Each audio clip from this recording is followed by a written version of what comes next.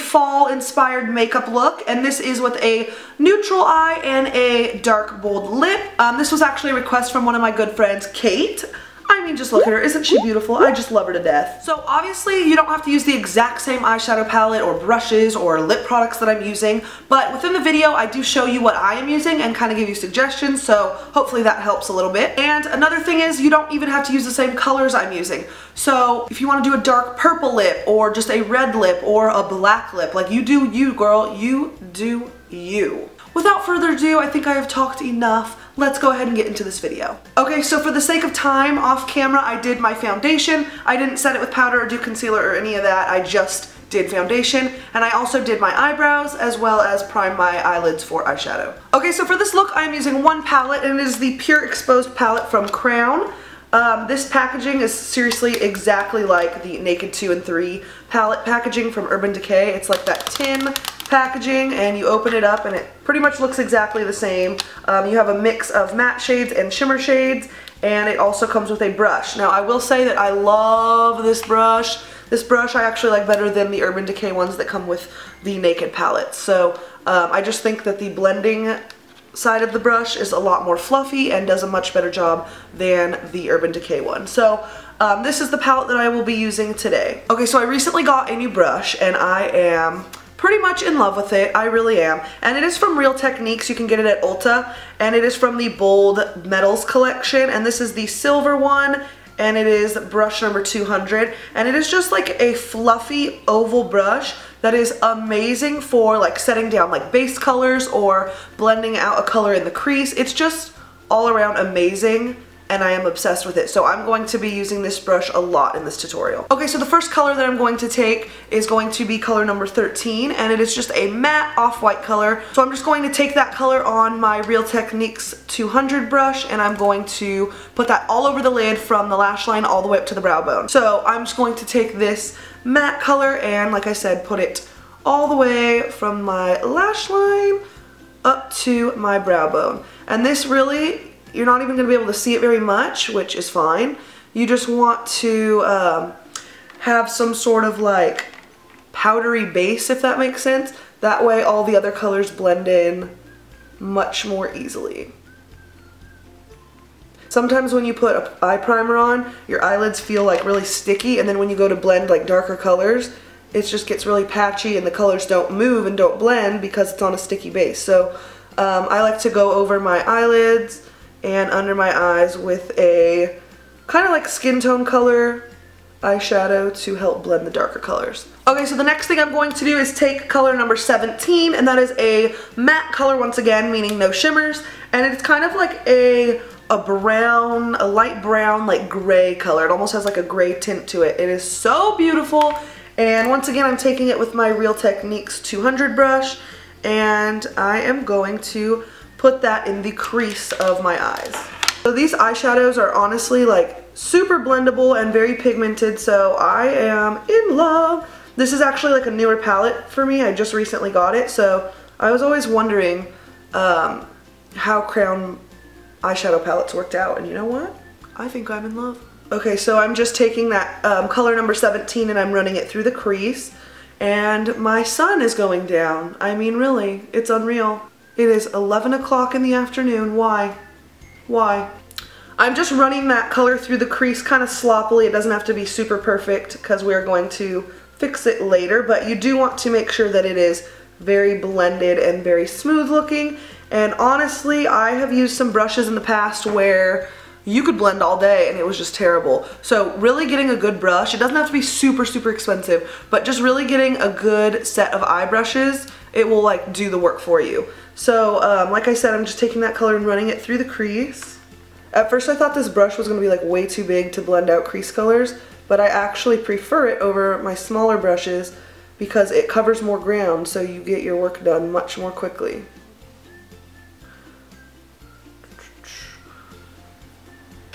Okay, so I'm taking that fluffy Real Techniques brush and I'm going back in with this color here, number 13, which is just that matte skin tone color. And I am going to be placing that right under the brow bone and blending it down into that crease color. I like to do this step because it helps blend that crease color so there's not like a super harsh line from where you put the, the crease color.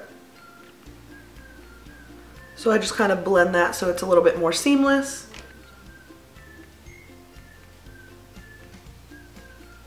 And I also like to take it around over here, around the edges. Just anywhere where you can see an edge where that crease color ends and your skin begins, we need to like get rid of that. We just like, I like to like diffuse that almost so it just looks like a gradient effect.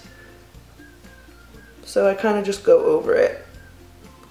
Okay, so now you can see that I do have just a very light crease color in my um, creases and it just gives my eyes a little bit more depth and dimension, which I love. Okay, so I kind of like to play up the more almond shape to my eyes, so I like to go in with an even darker color, and it doesn't matter if it's matte or shimmer. I'm going to go in with shade number 18 right here, and it's kind of like a brown, gold, coppery color. And I'm going to take that on the crown brush that came with it. I'm going to take this um, flat shader brush side, and I'm just going to get a little bit of that and I'm going to place that on the very outer corner.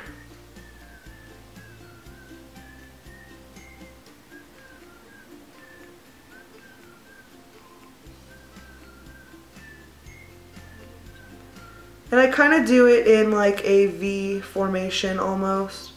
Once again, it doesn't have to be perfect because we're going to go blend that out later. Okay, so once I have that color placed over here in the crease, I'm going to take the fluffy side of that Crown Brushes brush and kind of blend it out.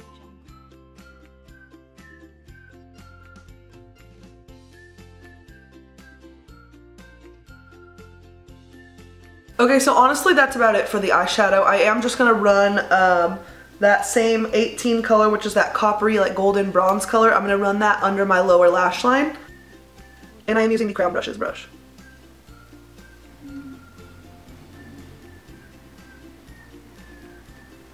No look of mine is complete without brightening up the inner corner. So I am going to take number 15, which is like a slightly shimmery white pinky color, and I'm going to put that in the inner corners.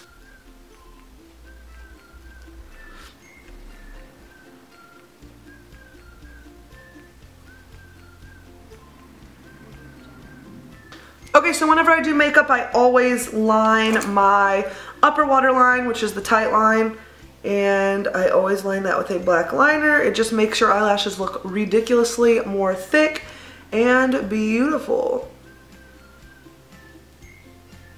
Okay, so the liquid eyeliner that I use is from Lorac or Lorac, however you pronounce it, and it's in this metallic packaging and it is just a liquid eyeliner. It's not a felt tip liner, it's like individual little bristles, but I like that way better. Um, I used to be obsessed with felt tip until I found this and it is my baby, I love it. Okay, so I'm just going to line my eyes and I'm going to wing it out and I will be right back. Okay, so I did my eyeliner and I did wing it out and now I'm going to curl my lashes and put on mascara. Okay, so now the eyes are finished and I'm going to finish the face and then we'll move on to the lips. So for the rest of my face, I am going to use a little bit of the Urban Decay Naked Skin Concealer under my eyes. And I'm just using my finger. I don't need any brush or anything for this.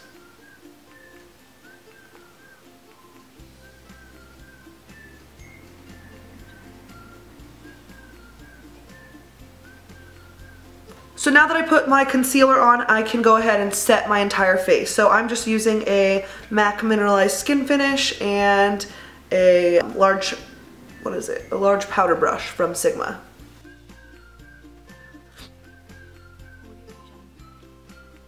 Quickly moving on to bronzer, I am using a brush from Vasanti. It's the Blush 7 brush. I got this in a BoxyCharm box and I'm using the NYC Sunny Bronzer, very affordable and I love it.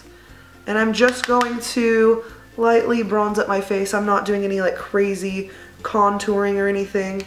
I just want to not look so pasty pretty much. I go ham on some bronzer. And I also bring it down my neck that way. I'm not a bronze goddess from chin up and then a pasty beast from chin down. if you know what I mean.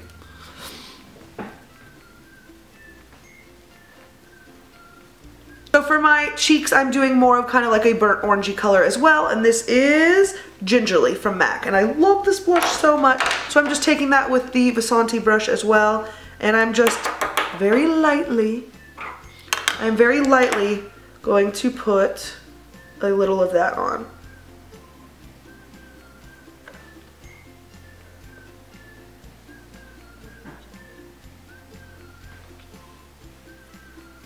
Okay, so now let's move on to the lips. I am using my favorite lip products of all time. ColourPop Cosmetics liquid lipsticks are absolute life. Absolute life. Like, it's almost unreal.